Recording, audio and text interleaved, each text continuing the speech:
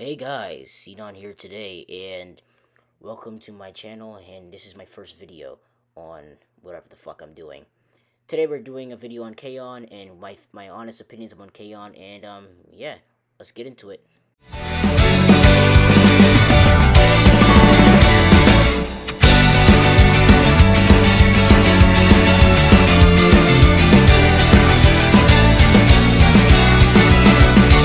K-On! a anime that I have dropped many times, probably like six times, that I've never got to watch until 2020. But yeah, let's get into this video. K-On! is an anime about six girls that are doing high school and going through high school and going through their high school life slash life. And basically what goes on in this anime is they're a high school band and they need to just play music and play music and play music how the Light Music Club came together? Well, basically, Ritsu, she wanted to become a club leader, and she saw that the Light Music Club was basically, you know, about to be extinct. So, Ritsu came, and she became the club leader.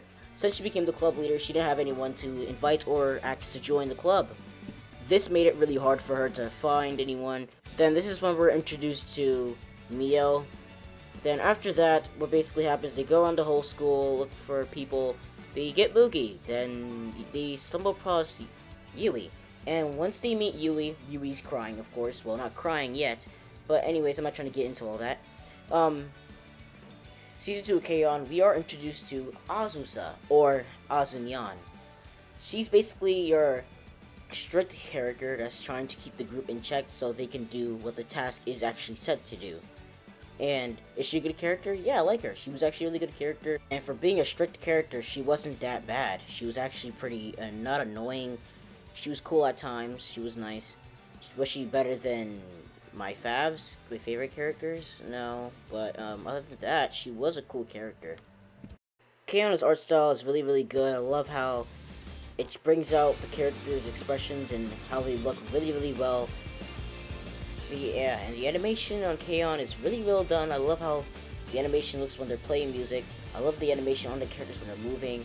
And I'm very happy that in this show, there wasn't that much of background character CGI. And I hate that so, so much. My final thoughts on K-On! Well, K-On! was really good. It was a good anime. I loved it. I enjoyed it. I watched it all the way to the end. And yeah, I watched season one, season two, and the movie. I really hope K-On! does come back as K-On! College, or if K-On! College can't happen, they could do like a spin-off of Azusa recruiting new members to the Light New Light Music Club, and her graduating later on during the show. Anyways, thank you guys for watching, and please subscribe, like the video, tell me what you guys think of the video, and um, yeah, see y'all later, and yeah, once again, bye my nibblings.